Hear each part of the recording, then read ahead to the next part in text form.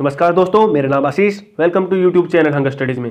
दोस्तों, आज का हमारा टॉपिक है national political parties in India Bharat में राष्ट्रीय राजनीतिक दल। तो उनके बारे में आज हम बात करेंगे।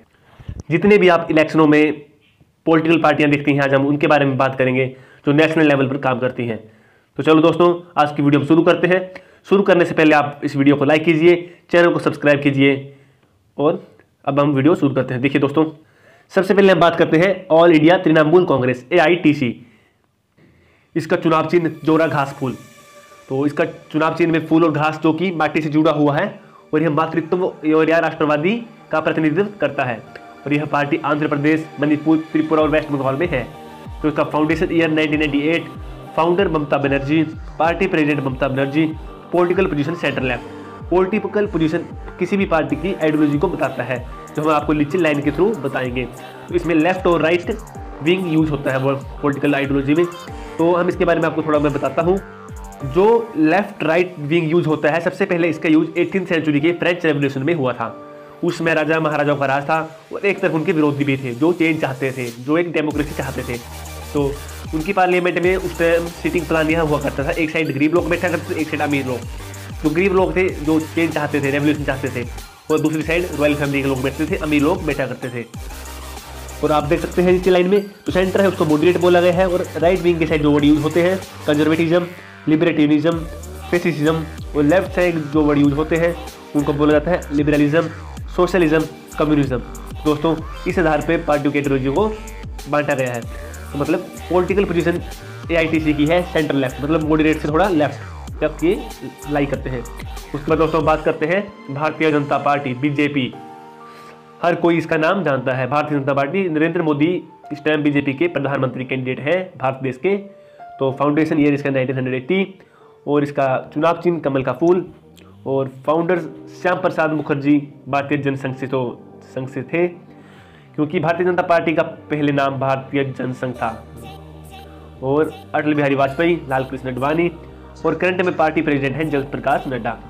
और पॉलिटिकल पोजीशन राइट विंग हमने आपको बता दिया राइट विंग के लिए वर्ड यूज़ होते हैं कंजर्वेटिज्म लिबरेटेरिज्म एंड फिसिज्म तो राइट विंग मतलब इसकी आइडियोलॉजी है बीजेपी की तो हम इसके बारे में आपको बता डॉक्टर श्यामा प्रसाद मुखर्जी द्वारा उन्नीस सौ इक्यावन में भारतीय जनसंघ, जो कि वर्तमान में भाजपा है, उसकी स्थापना हुई थी। उसका चुनाव चिन्ह उसमें दीपक हुआ करता था। 1977 में आपातकाल के बाद जनसंघ को जनता पार्टी बनाने के लिए अन्य पार्टियों का समर्थन से मिला। अन्य पार्टियों में मिला दिया गया। तब चुनाव चिन्ह हलदार किसान हो गया था। बाद में कमल चिन्ह इसको कर दिया गया था। इसकी आइडियोलॉजी हमने आपको बता दी। Indian accident culture integral humanism और बीजेपी को एनडीए भी वर्ड यूज़ होता है। तो एनडीए अकेली बीजेपी नहीं है। एनडीए एक अलायंस है पार्टियों का। तो एनडीए का फुल फॉर्म है नेशनल डेमोक्रेटिक अलायंस 1998 में श्री वाजपेयी के टाइम इसका यूज़ हुआ था। वाजपेयी जी ने इलेक्शन से पहले एक गठबंधन किया था। उसको एनडीए नाम दिया गया था। दोस्तों, उसके बाद हम बात करते हैं INC Indian national Congress one of the oldest party 1885 में इसका फाउंडेशन ईयर है और इसका चुनाव चिन्ह हाथ है। इसके फाउंडर आप देख सकते हैं एलन ओक्टेविन ह्यूम दादा भाई नारोजी निरसा वाचा मोमेश चंद्र बनर्जी इसके फाउंडर थे। पार्टी प्रेसिडेंट आप करंट में देख सकते हैं, सोनिया गांधी जी हैं और political position centre to centre left मतलब मॉडरेट से थोड़ा सा लेफ़्ट की साइड अठारह में पार्टी का गठन हुआ, उसके बाद कई लीडर आए, पार्टी संभाली, कई गए। तो हम आपको नेहरू जी के नेतृत्व के बारे में थोड़ा बताएँगे। नेहरू की टाइम पार्टी का चुनाव चिन्ह दो बैलों की जोड़ी हुआ करती थी, जिससे आम लोगों को मुख्य रूप से किसानों के साथ बेहतर तालमेल के स्थापित किया गया था। और उन्नीस में पार्टी विभाजन के बाद चुनाव आयोग ने इस चिन्ह को जब्त कर लिया था। उनकी पार्टी स्प्लिट हो गई थी तो चिन्ह फिर जब्त कर लिया गया था। तो नया चिन्ह इन्होंने बछड़े को मतलब बछड़े बछड़े को किया था। जो बछड़े का बच्चा था गाय का तो उन्नीस के बाद आपातकाल खत्म होने के बाद उस चिन्ह को भी जब्त कर दिया गया। उसके बाद इंदिरा गांधी ने हाथ को चुनाव चिन्ह बनाया। इनकी आइडियोलॉजी के बारे में हमने आपको बता दिया। सेंटर टू सेंटर लेफ़्ट मतलब यह आशा रखते हैं कि मॉडर्न वेस्टर्न कल्चर को अपनाना चाहते हैं। सेकुलर डेमोक्रेटिव मतलब सेंटर पार्टी भी बोलते हैं और इंडियन नेशनल कांग्रेस को यूपीए भी बोला जाता है। आपने सुना होगा न्यूज़ में यूपीए गवर्नमेंट भी जब बोला जाता है, क्योंकि इन्होंने भी कई पार्टियों के साथ गठबंधन किया हुआ था। ये हुआ है।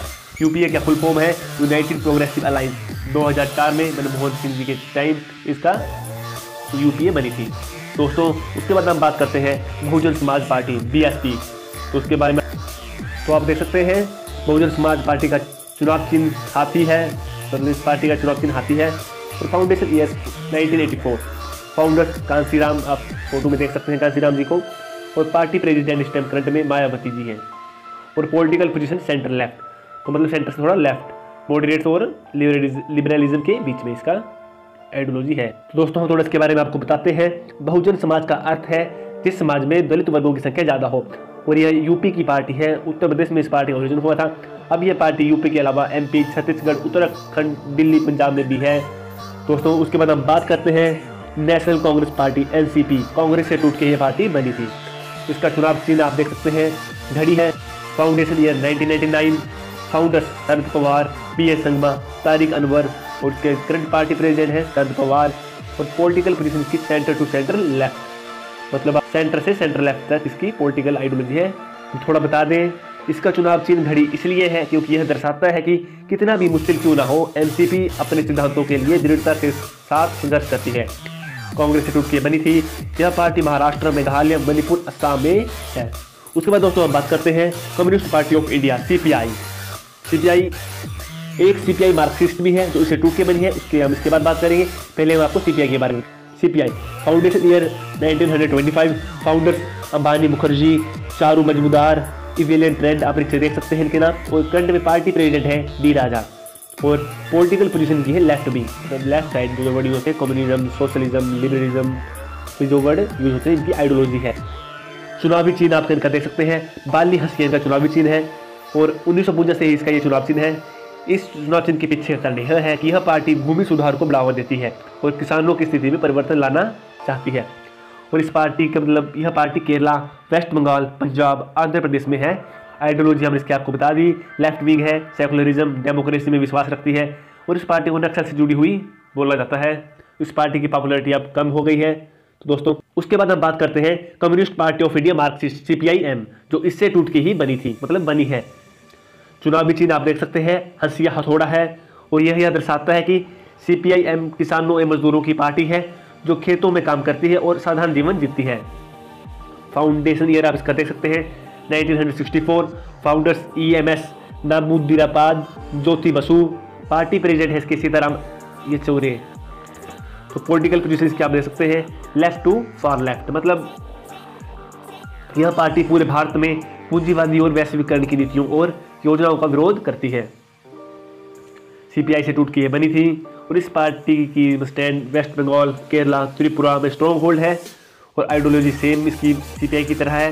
थोड़ी सी इसकी अलग है सेकुलर डेमोक्रेसी दोस्तों, इसके बाद हम बात करते हैं national people party NPP NPP एक नई पार्टी है, पहले सात हुआ करती थी, अब आठ हो गई है और इसका फाउंडेशन ईयर है 2013 और इसका चुनावी चिन्ह पार्टी का किताब। और फाउंडर है इसके P A Sangma party president current में कोनराड संगमा पॉलिटिकल पोजीशन इसका है सेंटर टू सेंटर राइट मतलब राइट साइड आप देख सकते हैं क्या यूज़ होते हैं word conservatism libertarianism and fascism तो दोस्तों मेघालय के अंदर पार्टी बनी थी तो एनपीपी पार्टी को पूर्वोत्तर राज्यों में ही शायद जाना जाता है। और पार्टी को मेघालय, मणिपुर और नागालैंड में पहले क्षेत्रीय पार्टी का दर्जा मिल चुका था, उसके बाद अरुणाचल प्रदेश में भी इसको क्षेत्रीय पार्टी का दर्जा मिला, उसके बाद नेशनल पार्टी बन गई। आइडियोलॉजी इसकी सेंटर टू सेंटर राइट है? दोस्तों तो हमारा आज का टॉपिक यहाँ पर थोड़ा समाप्त हुआ। थोड़ा वीडियो खत्म करने से पहले मैं आपको थोड़ा इसके बारे में बताता हूँ। नेशनल पार्टी बनने के लिए क्या क्या शर्तें होती हैं? तीन शर्तें इसकी मेन है। तो दोस्तों, वो तीन शर्तें हैं। A party should win two percent of seats in the Lok Sabha from at least three different state किसी भी पार्टी को दो परसेंट सीट लोकसभा में होनी चाहिए। एटलीस्ट तीन डिफरेंट स्टेट्स में। तीन डिफरेंट स्टेट से दो परसेंट सीट लोकसभा में होनी चाहिए। तब उस पार्टी को नेशनल पार्टी का दर्जा मिल सकता है। दूसरी कंडीशन है at general election to Lok Sabha और लेजिस्लेटिव असेंबली किसी भी पार्टी के पास छः परसेंट वोट शेयर होना चाहिए, चार और चार से अधिक स्टेटों में और मतलब और हाँ चार लोकसभा सीट इनके पास होनी चाहिए। तो तीसरी कंडीशन है a party get recognition as a state party in four state कम से कम चार स्टेटों में वो क्षेत्रीय पार्टी के दर्जों से स्टेट पार्टी के दर्जों से मिला हुआ होना चाहिए। तो ये तीन कंडीशन है। इन तीनों कंडीशन में से कोई एक कंडीशन भी कोई पार्टी फॉलो करती है, उसे नेशनल पार्टी का दर्जा दिया जाता है। दोस्तों, आज की हमारी वीडियो यही खत्म हुई। तो आज हमें इजाज़त दीजिए। अब मिलेंगे अगली वीडियो में आपके साथ। अपना प्यार इसी तरह बनाए रखिए।